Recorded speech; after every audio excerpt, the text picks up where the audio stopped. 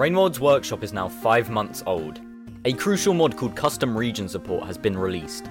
Originally by Garrakx and now maintained by Bro, Custom Region Support adds a ton of new tools that, well, support the custom region experience. For example, procedural threat music and custom powers were not possible without Custom Region Support. Now, although custom region support is great on its own, since a bunch of 1.5 region mods relied on it, they can now be ported over to 1.9, and obviously the workshop. So soon we'll be getting ports of the amazing regions like Hanging Gardens or Floating Isles. Since custom region support is so influential to region modding, I'm gonna give it Mod of the Month, due to its importance.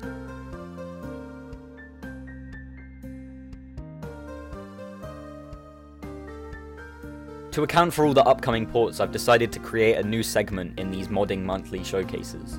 This section is for me to cover 1.5 ports, which is also not limited to custom regions, so keep an eye out for that later in the video. As always, downpour spoiler warning, so without further ado, let's get on to the mods. Exploding Batflies by NoirCatto makes Batflies explode on contact with any creature. This not only makes them inedible, but also a massive threat to the player, and I guess the whole ecosystem. You can see in the video they kind of act like a platforming obstacle. This is a very simple mod, but adds a really fun challenge to the game. The Similar by Cotton adds a cute new slugcat to the game. This weasel looking fella has a few abilities up its sleeve, the first being its ability to photosynthesize. When the Similar is outside, the food meter will passively go up, with increments of one quarter. Its second ability comes from its plant tail, which will attract batflies identical to Batnip. Its third ability is Camouflage, where it will enter a stealthy state when crouching. This state makes it impossible for enemies to see you, so you can sneak past them or jump them. The Similar's final ability is to convert almost all food pips into Karma Reinforcement, which is the same effect as eating a Karma flower. In my opinion, this Slug Cat is way too easy to play, like it has so many upsides and like no downsides. But if you're in the market for something like that, then this is your Slug Cat. Credit where credit is due, this Slug Cat is very well made. Strong Delivery by Nacu gives Gourmand the ability to throw small creatures violently. This attack deals damage to other creatures, which is pretty funny, and it lets you use your own children as weapons. This could also lead to some wild movement tech, but I'm not a nerd, so I'm, I do not know anything about that. Pebbles reads Pearls by Forthbridge and Sidera allows for Pebbles to read Pearls in Rivulet's timeline. I'm not sure why he doesn't in normal Downpour, like, he doesn't have much else to do. And he's clearly interested in Pearls in Artificer's time, so it's like, just read the damn Pearls, mate! Since Pebbles can read Pearls during Artificer's timeline, most of the dialogue is just altered slightly. But there's some new Pearls like the one Rivulet starts with and the Submerged Superstructure one. I think this is one of the mods that everyone should get because it should have been in the actual DLC. Millions is Challenges by Millions5252 adds a dozen new challenges to challenge mode. There are some pretty creative ones that I enjoyed playing, and also I didn't even know you can play as a slug pup in challenge mode, that's pretty fun. And of course there is a based Yika postmodern RPG reference in there. Overall, if you enjoy doing challenge mode challenges, well this is the mod for you. Gay World by Moon adds a bunch of optimal gaming PC hardware to the game, in the form of RGB lighting that is. This RGB affects not only creatures, items, the menu itself, but also light sources, making it a pretty overstimulating mod if you ask me. Since submerged superstructures vents use a ton of light sources, the whole place gets affected by gamer power. Overall a pretty trippy mod. I would be a bit careful if you have photosensitivity issues, since the mod can be a bit overbearing at times. A fun mod to check out nonetheless. Rainy World Funkin' by Silky adds a brand new minigame to the Rainworld menu. This minigame resembling the Kickstarter scam Friday Night Funkin'.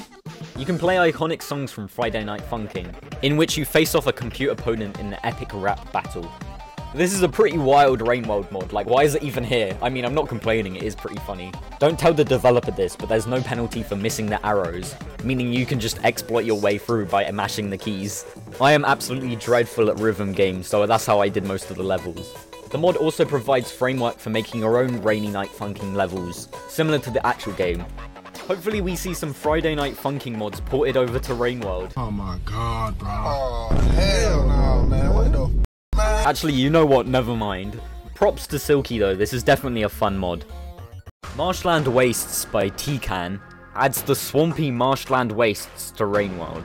This new region has tons of new rooms to explore, spanning across three new subregions. I'm not going to show too much of the region since you can explore it yourself. The entrance to it is on the left side of garbage wastes, or the top right side of farm arrays. The region also connects to pipe yard and chimney canopy. Although the rooms are a little rough around the edges, which is completely understandable since it's the creator's first region, I do want to congratulate Marshland Wastes for being the first substantial non-port region that is available on the Steam Workshop. This is a big milestone in region modding, and with custom region support I hope we see some more banging regions come out. Some notes about Marshland Waste is that the garbage waste connection has a past variant, and the whole region has saint settings, which are really annoying to do, so props to the developer for including these details. Extra Threat Themes by Tryn adds a bunch of fan-made threat tracks to regions without threat music. I'm gonna showcase my two favourite threat tracks, only because I'll be here all day if I did the other ones. The first is The Wall Day by Axye.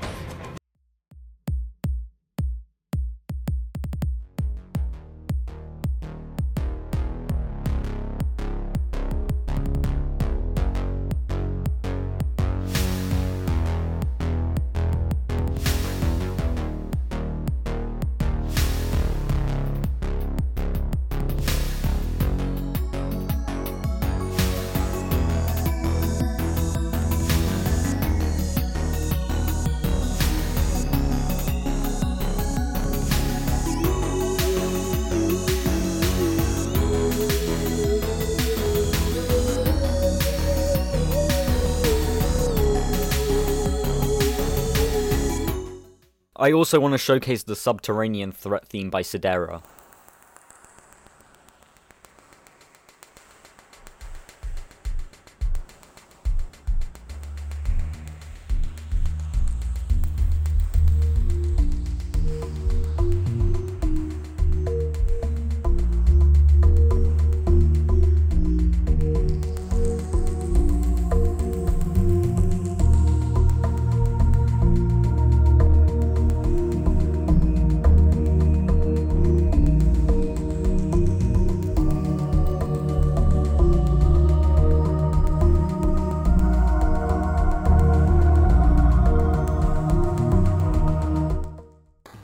So many more threat tracks that this mod adds, so I'll leave a link to the threat tracks and who made them in this mod segment, so you can check them all out if you want to. Now the next mod was going to be Bakuya's custom Slugcat support in Expedition, but Nacu the modding big shot took a commission and added it to actual Slugbase. So I guess this section is now a PSA. You can now play Slug-based Slugcats in Expedition mode. I did literally record a whole ass expedition of me and Sigma, go check out his channel, doing a custom Slugcat expedition, and we literally got stuck in Pipe Yard for an hour, so I'm a little bit salty about the Slugbase update undermining that footage. Props to Pakuyo and Nacu for making their respective versions, since Slugbase was definitely lacking in the expedition department. Biography by Harvey adds a catalogue of new creatures to the main menu screen. It can be accessed by pressing the little lizard icon next to the collection button. All the creatures that you have unlocked for Arena appear here, and selecting a creature spawns it in in this little box, where it is trapped for the player's amusement. Custom creature IDs can be selected, which spawns that ID, which is very nifty. Information about the ID's personality, creature stats, and general creature relationships are displayed. I like the Leviathan since it just doesn't fit in the box, which is funny, but definitely a cool mod. I wish you could interact more with the creature in the box, and it would be cool to have a summary about what the creatures do when you select them. Darkness by Pakuyo, commissioned by QWQ, adds a Slugcat without the ability to see, which is not unlike the Hunter x Hunter character Komugi. This blindness makes all of the rooms very dark, but to compensate, the darkness gets an Iggy-like scan effect that gives a small area around it clarity. This isn't as good as regular Slugcat vision, but can help in certain situations, for example detecting a stowaway. This echolocation effect can be extended temporarily by pressing left shift, which I don't think has any downside. Upon reaching 10 Karma from the final Echo, the darkness awakens its special ability, summoning a comically large nail spear. These big nails can be willed into existence by holding grab, and the darkness will gain one food pip from hitting a target with it, which is reusable too. Unfortunate souls who get hit by the cursing nail take a massive amount of damage, with them being able to kill most creatures in the game in one shot. In this footage, I down a reindeer in 4 hits, which is definitely proving of its strength. Overall, I think the darkness is a fun slugcat, as long as you get used to the constant scan effect. I wish the nails were unlocked earlier in the campaign, as I think they're a cool ability but unlocked too late. I think with each echo visited they should have powered up, that would have made for a fun ability throughout the campaign. Expeditions Enhanced by Nacu, commissioned by the redesigner, implements brand new perks and burdens to expedition mode. Here is a list of the new perks. The blue fruit perk adds 4 blue fruit to the starting shelter. Okay, this is a certified Tory perk, don't run this shit. The leeching perk gives a food bonus when you kill a creature. The food bonus is dependent on how large the creature is. For example, snails give 4 to food pips, but lizards give more than 2. I like the cool absorption effect whenever a slugcat kills a creature, it's a really nice detail. The friend perk spawns a tamed lizard in the starting shelter. Saint's Tongue gives other slugcats Saint's Tongue, which has good synergy with characters like Gourmand and Artificer. Explosive damage gives spear shots an explosive property. The triggered explosion seems to deal no damage, but will definitely cause the creature it hits to lose its footing. The Make-A-Wish perk activates when Slugcat throws a pearl into a death pit. Doing so will obviously lose the pearl, but the Slugcat will get cool items in return. I think this is my favourite perk because it adds a bit of value to pearls rather than just a scavenger trade item. And the particle effect of the little fairy rising out of the death pit to give Slugcats its items is really cool. Onto the two burdens. Firstly, the crippled burden, which increases full damage. This is a certified Geralt from The Witcher 3 moment. The second burden is confused, which makes it impossible for Slugcat to see the map or the rain timer. Not gonna lie, these burdens kind of suck, but that can be fixed. You see, Nacu actually provided a framework so people can make their own perks and burdens. Hopefully someone makes an expedition mod with 100 burdens, that would be a fun one to test. but yeah, fun mod, especially when paired with the newly added custom Slugcat expeditions. The Outsider by Quay Leddy adds a funny little moth slugcat to the game. This little blighter wouldn't work for me for like two months, and I finally got it working. The reason why it wasn't working for me is because I was using the media access version of the game, which was a more unstable version. So I guess this is another PSA. But if you had the early access to Downpour, thank you Akupara for giving me early access, make sure you manually leave the demo, which will make the game more stable. Anyway, back to Outsider. This glowy gremlin has the ability to fly. Pressing the jump button mid-air causes the Outsider to flap its wings. This will give it a bit of height and speed, as well as starting a glide until it hits the ground again. Pressing jump while it's in its glide state causes the outsider to flap its wings again, giving it additional height and potential speed. There is no limit to how many flaps it can do during a glide, but each one drains 1 16th of a food pip. Even though 1 16th is minuscule, it builds up over time, and so the outsider gets very hungry if you use additional flaps a lot. Overall, I think the flight is very well executed, and it's actually incredibly fun to use, which is kind of a rare thing in modded Slugcats. And although I'm not the biggest fan of Slugcats having food requirements tied to their abilities, it works in the Outsider's case due to its high mobility. The Outsider can also spend one food pip to do a flare attack, which is basically an on-demand flash fruit that will blind most creatures and kill photosensitive enemies. This ability felt unnecessary, and I probably used it accidentally more times than I actually intended to use it. The Outsider is also a vegetarian, meaning it can only eat plants, and Spore Puff's a moth repellent, so attempting to eat one will kill the Outsider. As for the world state, the Outsider is set between Rivulet and Saint. Pebbles has just collapsed and the rain has completely stopped, meaning each cycle lasts indefinitely. Each region has become a lot darker in palette and dust has started to form. Drainage system has been renamed to Dry Ditch, and all water present has now dried up. This leads to the place feeling incredibly creepy, like this, this place is scary. I guess it's caused by the uncanniness of expecting water and there not being any, especially when accompanied by the dark palette. This version of drainage system provides an interesting ordeal for the outsider, as giant empty pits are present throughout the region, promoting the Mothman to use its flight for traversal. Dry Ditch is a solid example of how to correctly alter regions for your Slugcat campaign. Although some room qualities are not fully removed for the Outsiders campaign, the whole place feels unique to drainage system without the use of any new rooms. So yeah, big fan of Outsiders drainage system. I'm really excited to see more custom Slugcats employ the use of dev tools to make unique versions of the regions for a fresh experience during their campaign. As for the Outsider as a whole, I think it's a very solid custom Slugcat. Easily one of the top 5, and I'm glad I finally got to play it. Okay, the next segment is the Dress My Slugcat one, but I didn't have time to like properly format it, so I'm just gonna tell you now and then resume my work afterwards.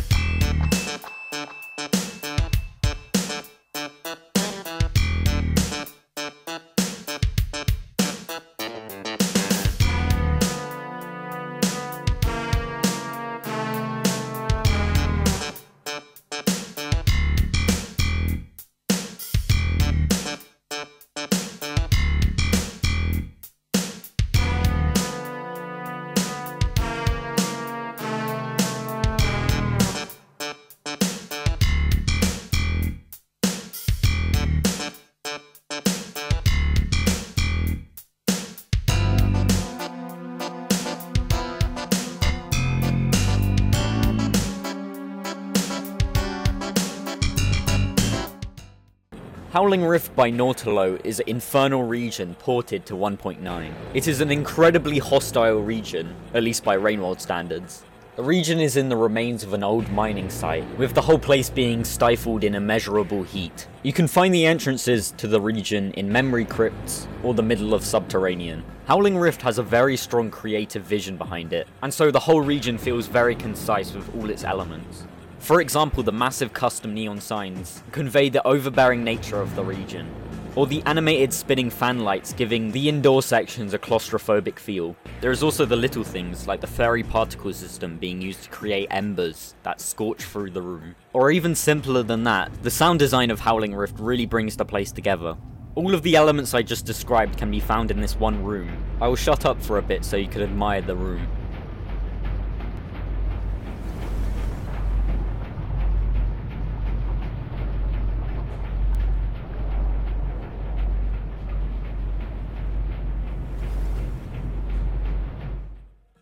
Howling Rift also has a custom creature living in it, called the Fat Firefly.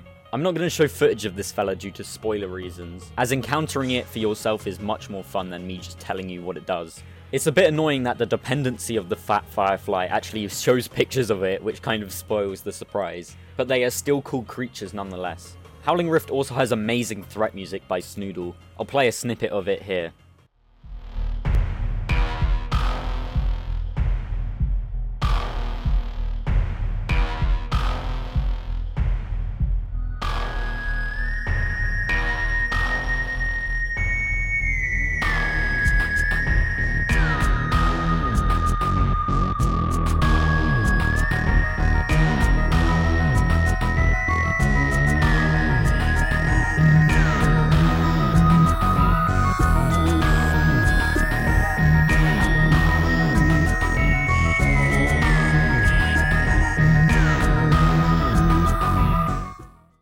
To conclude, I think Howling Rift is a very solid custom region. It knows what it wants to be and so executes all of its ideas very well.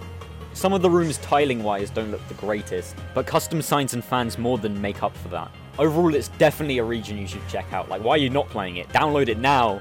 Oh yeah, one thing I forgot to mention, you cannot play Howling Rift as Saint, because of lore reasons, I guess, it like collapsed or something. So don't try and access this region as Saint. Pride Rainbow World by Jevman ported by Bro is a joyful little mod that adds rainbows to all rooms in the game. Well, only vanilla non-downpour outside rooms. But apart from that, rainbows galore.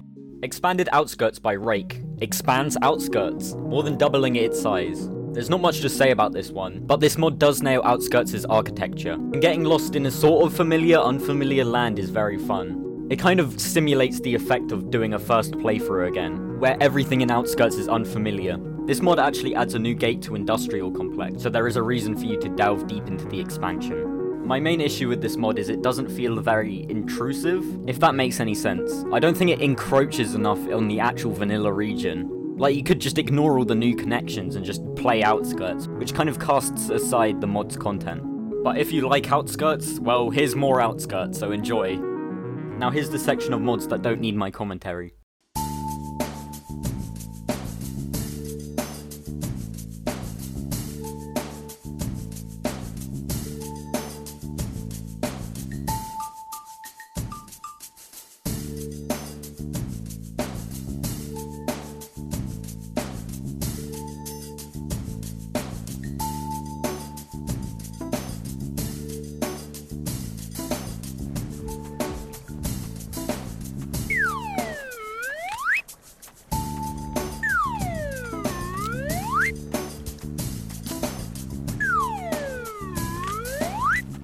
Okie dokie, that was the end of the video. Sorry this one was a bit late, I couldn't physically work on videos, and then making this episode was also a nightmare.